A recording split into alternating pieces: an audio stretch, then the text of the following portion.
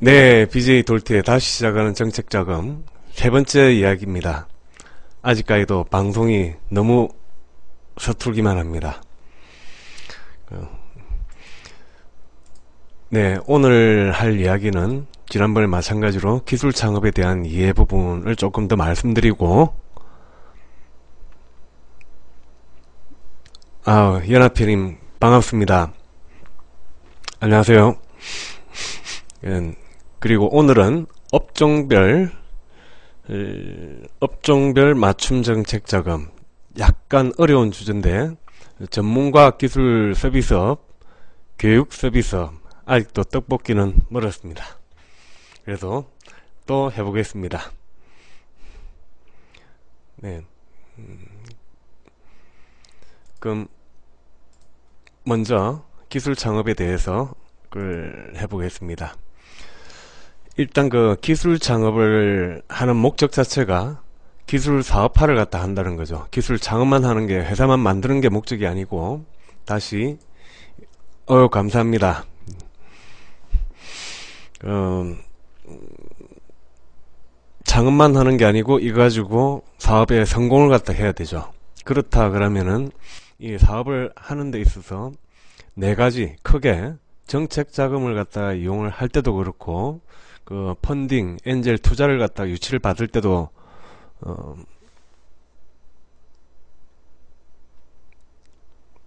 네. 네, 투자 유치를 받을 때도 그렇고 이게 크게 네 가지를 갖다 보게 됩니다. 크게 네 가지를 갖다 보게 되는데 어, 첫 번째가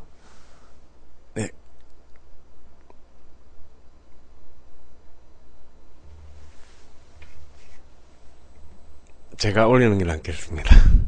됐는가요? 네. 그 네 가지 경영진 역량, 기술성, 시장성, 사업성 이 크게 네 가지를 갖다 보게 됩니다. 그래서 어, 이 네 가지가 충족이 됐을 때 정책 자금을 R&D 자금이라든지 그 펀딩 받을 때도 그렇고 그 하게 됩니다. 그럼 이 부분에 대해서 조금 쉽게 풀이를 갖다 해봤습니다.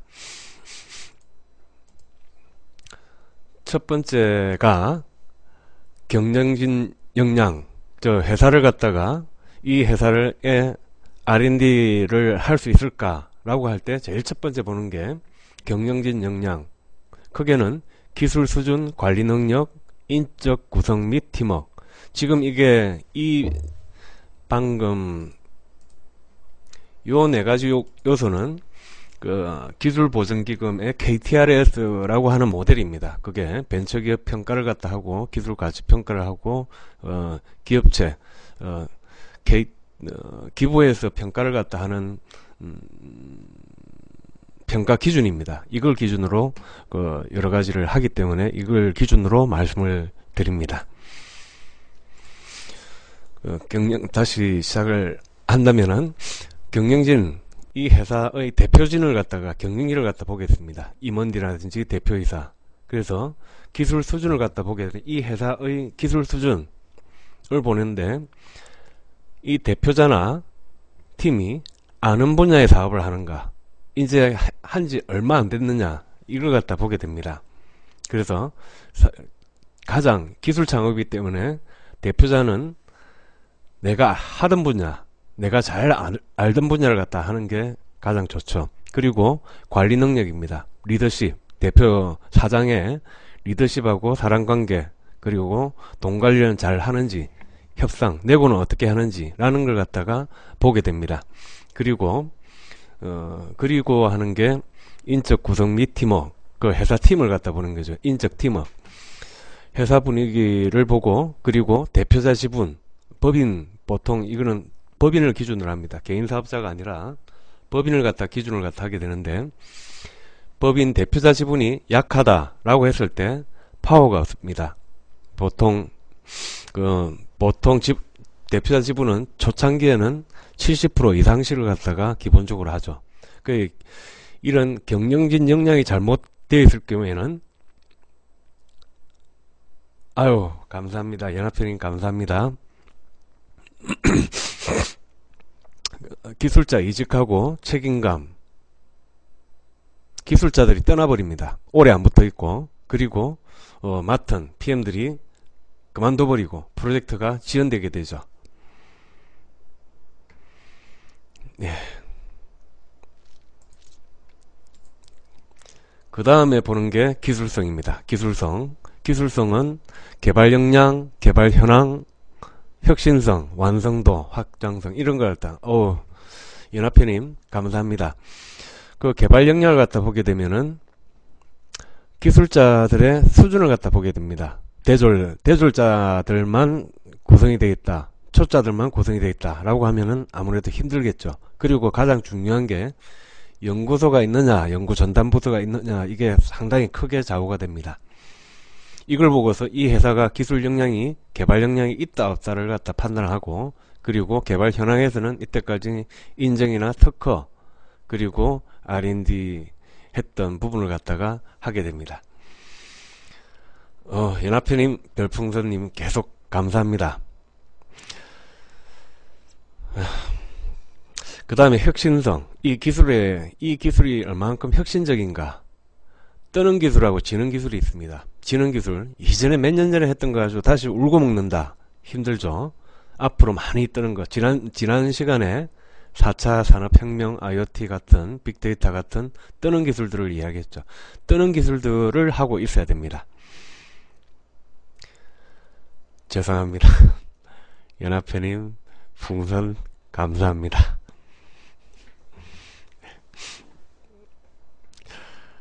어, 네 번째, 그리고 기술, 회사에서 갖고 있는 기술이 얼만큼 혁신적인가를 보게 되고, 그리고 기술이, 기술이 얼만큼 완성되어 있는가.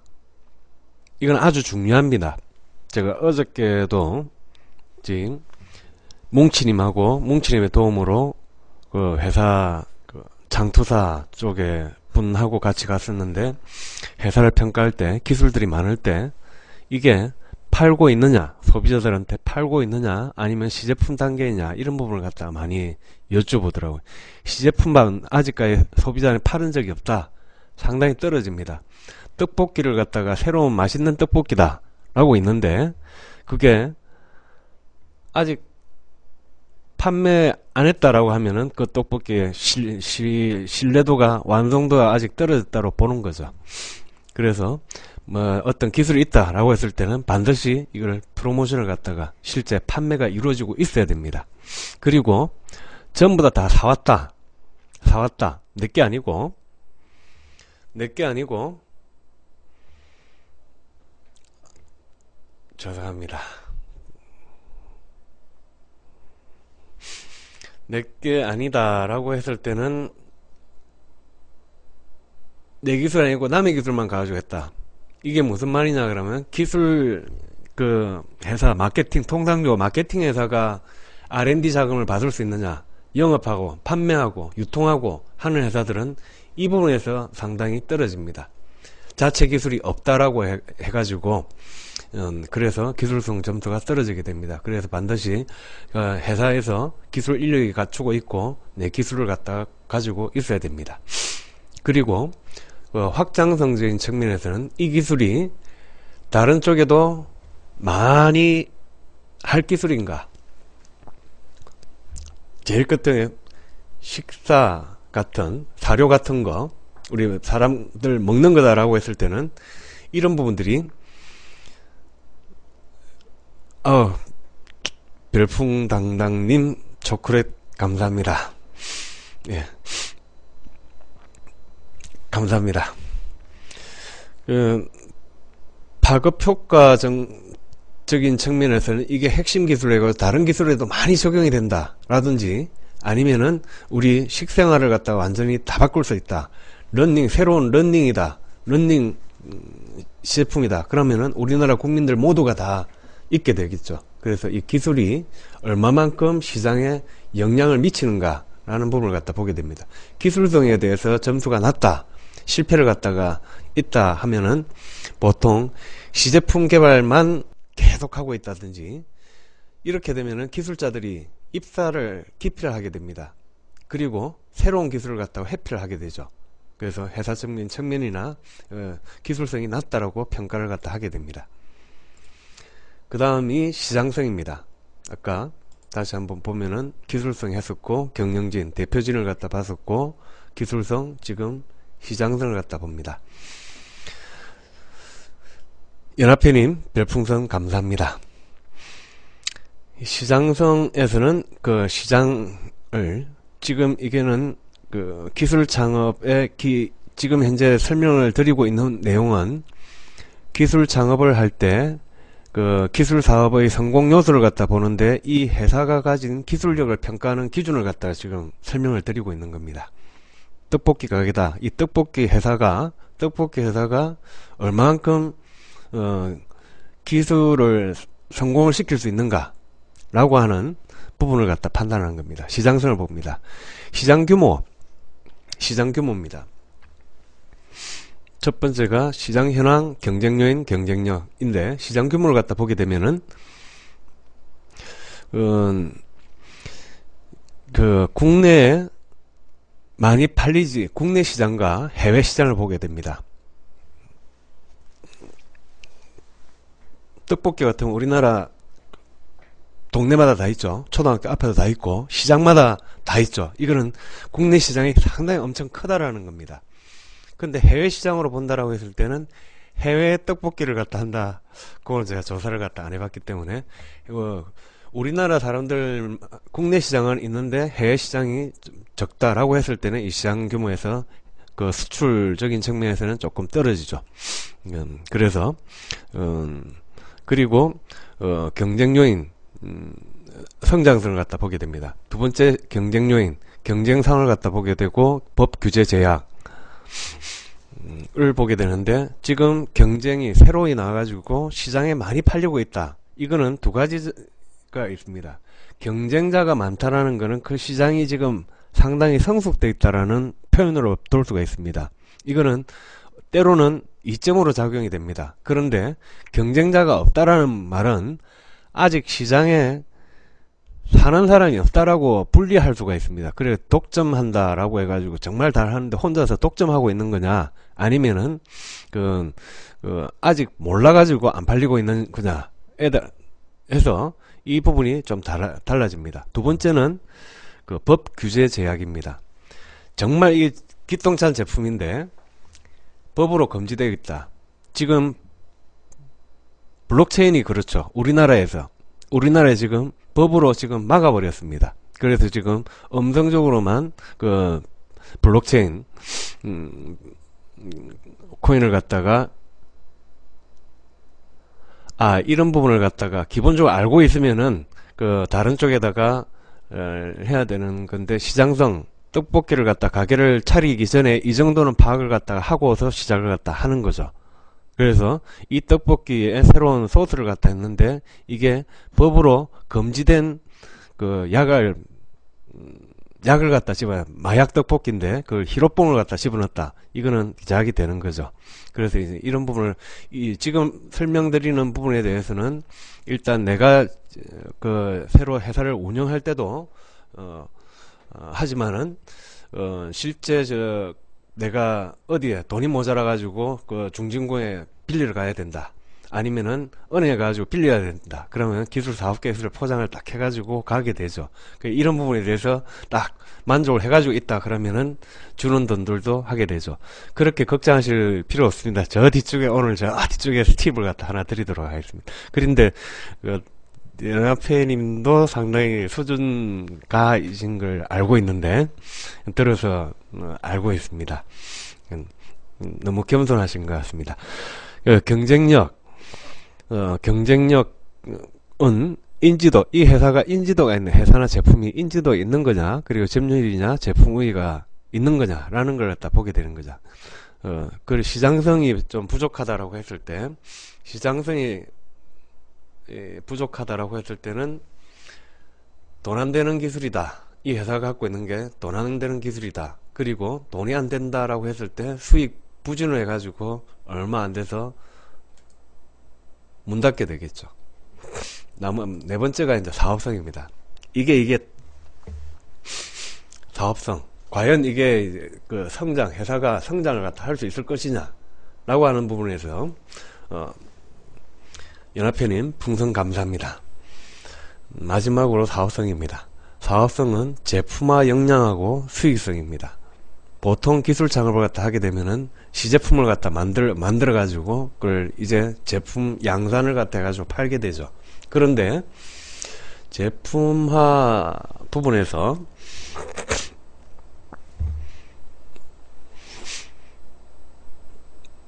제 풍선 받았는데 너무 기분이 안 좋은 것 같은가요? 지금 그 상당히 좋습니다. 음, 그 음, 제품화 역량에서 어, 보게 되면은 생산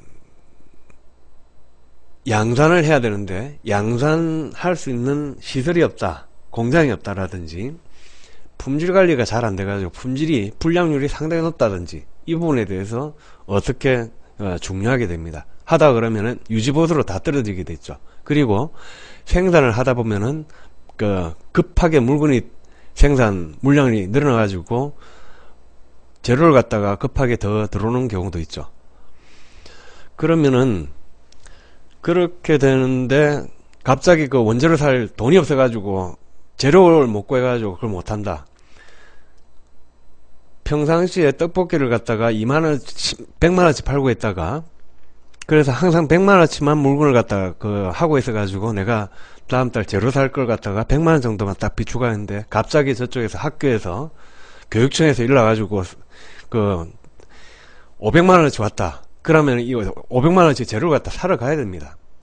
그럴 때 그렇게 될 때 급하게 대표자는 언제든지 그 부분에 대해서 자금 조달을 갖다 할 수 있어야 됩니다. 그래서 아니면 통장에다 갖고 있든지. 그리고 마지막, 마지막으로 보는 게 투자 규모 적정성을 보고서 제품화를 시킬 수 있을 건가 없을 거냐 보고 그 다음에 마지막으로는 수익성입니다. 마케팅 역량. 마케팅 역량이 떨어진다든지 판매처가 다양하지 않다든지 투자 대비 회수 언제 이게 마진이 작아가지고 한 3년이 돼야 그 본전 뽑겠다. 이런 중요하죠. 그런 부분들입니다. 그래서 사업성이 없을 때는 자금 부족이나 생산을 차질을 빚게 되고 발로 부족을 이어져 가지고 똑같이 수익성이 약화됩니다. 이것처럼 지금 네 가지 기술 사업화의 성공 요소 네 가지를 갖다 한번 살펴봤습니다. 조금 딱딱했을 수가 있습니다. 음, 있는데 기술 창업의 초기 목표 다른 거 아닙니다. 3년은 버텨보자. 이 아주 중요한 얘기입니다. 음, 그 이거는 예, 첫 시간에도 말씀드렸지만은 회사를 만든다. 3년은 버틸 각오를 갖다가 하는 게 아, 중기 기업이라고 하는 건 3년 이상 7년 이하의 기업을 7년 어, 미만의 기업을 중기 기업이라고 합니다. 그래서 초기 기업이 3년까지 버티는 만 3년 이내를 갖다 초기 기업이라고 3년부터 중 그 7년 미만을 갖다가 중기 기업이라고 하는데 그래서 3년은 보통 1년 있다. 우리나라에 1, 그 3년 안에 망하는 비율이 60%나 됩니다. 60%는 해가지고, 예, 후기 기업이라고 하는데, 후기 기업은 만 7년 이상, 그 노친내, 노친내들을, 예, 그 중기청에서 정부 R&D 자금의 기준이 초기, 중기, 후기 해가지고, 어, 어 기업들은 7년까지가 보통 어, 중소기업 중소벤처부에서 하는 이전에 중기청에서 어, 하는 음, 예산 R&D 예산에 그 집중되고 있습니다. 아니요, 7년까지만 7년 이후는 다 그 실버 실버라고 해요. 3년은 버팁시다. 그러기 위해서 이렇게 아까 말했던 이런 이런 사업성과 기, 술성과 경영진 역량 탄탄한 기본기를 갖다 갖춰야 어, 갖춰가지고 3년은 버텨보자. 그래서 제가 그 기술 창업의 전제 조건을 갖다 쭉 생각을 갖다 해봤습니다. 저도 한 20년 사업한 지는 한 20년 가까이 98년도부터 지금 한 20년 가까이 되다가 많은 어, 뜨는 기업들 어, 그 하는 기업들을 보고 어, 투자를 받는 기업들 그리고 R&D 정책 자금을 갖다가 어, 어, 정책 자금을 볼 수 있는 부분들이 있는데 그걸 그걸 했던 부분에서 탄탄한 기술 창업을 하려면 어떻게 하는, 되는가라 볼 때 첫 번째가 대표자 신용도입니다. 대표자의 신용도가 어, 지금은 신용불량자들도 재기를 갖다 할 수 있다 그렇게 많이 들어가 있는데 그거는 정말 한정되어 있습니다. 그래서 대표자 법인의 대표자 대표이사다라고 했을 때는 본인의 신용도는 무조건 지켜줘야 됩니다. 아주 중요한 이야기입니다. 자기 신용도 기업의 법인의 법인의 신용도하고 직결되어 있습니다. 그래서 대표이사의 신용도는 정말 중요하다. 그리고 두 번째가 그 최소 혼자서 1인 창업 절대 하지 마라. 1인 창업은 절대 건물입니다. 그거는 생계형으로밖에 보이지 않습니다. 요즘 혼자서 이런 방송가, 어, 그 작가, 그런 부분들은 혼자서도 할 수 있지만은 말 그대로 그분은 1인 기업이다라고 했을 때는 생계형으로 합니다. 즉, 그 사람이 아플 때는 이, 그 기업이 안 돌아갑니다. 그렇기 때문에 어떤 기술 투자라든지 그런 투자라든지 R&D를 갖다 할 수 있을까라는 부분에서 상당히 약하게 들어갑니다. 어, 1인, 1인 창조기업 뭐 전용 자금 해가지고 R&D 그, 그런 부분을 갖다 많이 주는데 정말 규모가 작습니다. 그래서 제, 최소 한다 하더라도 두 명 이상은 해라. 그리고 이거는 그 아까 아까 말 말씀을 드렸었죠. 기술성에서 기술성에서 개발력, 개발 역량, 전담부서, 연구소, 전담부서 할 때도 이 부분은, 물론 지금은, 그렇죠. 그래서 전담부서를 갖다 한다 하더라도 최소 두 명 이상은 팀을 갖다 구성을 해라. 그리고 세 번째, 아까 자체 기술을 갖다 갖춰요. 기술 창업이죠. 기술 창업. 기술 창업인데 기술자가 없다. 이 말이 안 되는 거죠. 그래서 핵심 기술자가 있다. 그 사람을 중심으로 창업을 갖다 해라. 네 번째가 학력과 나이는 신경 쓰지 말자. 겁니다. 청년 자금들이 있다 해가지고 청년들한테 그 R&D 자금들이 많이 집중되고 있다 하지만은 실제 그 기술을 갖다 보게 되는 거고 그리고 어 학력이나 나이에 대해서는 좀 걱정하지 예 이거 주눅 들지 말자라는 부분이고 그 마지막으로 초기 자금은 가지고 창업을 갖다 해라. 떡볶 이 창업할 때 떡볶이 가지고 내가 새로운 기술을 갖다 특허를 출원받고 그거 가지고 사업을 한다 라고 했을 때는 음, 마찬가지로 그 떡볶이 기술자가 떡볶이 부분에서 얼만큼 몇 년 동안 떡볶이를 갖다 만들었느냐. 떡볶이 그 종업원으로 20, 15년 동안 하다가 하다가 그 했다 그러면은 그런 부분을 갖다가 떡볶이 기술자가 있어야 되는 거죠. 굽는 기술자가 마찬가지로 그 지금 이거는 제가 말씀드리는 거는 어떤 업종이든지 기술 창업을 갖다 하자라고 하는 분들이기 때문에 그 예, 그쪽에서 어 프랜차이즈를 갖다 한다든지 그럴 때는 기본적으로 기술 창업을 활용할 수가 있는 거죠. 음, 그래서 기술 창업의 전제 조건을 말씀을 드리고 있습니다. 그래서 초기 자금은 가지고 자금을 하라. 돈 한 푼 없이 무일푼 창업을 갖다 한다라고 했을 때는 어, 제약 조건들이 있습니다. 자기 돈 하나도 안 받고 남의 돈만 가지고 한다? 안 빌려주겠죠. 그러기 때문에 초기 자금은 어느 정도 가지고 작업을 하는 게 좋다라는 걸 네, 말씀드립니다.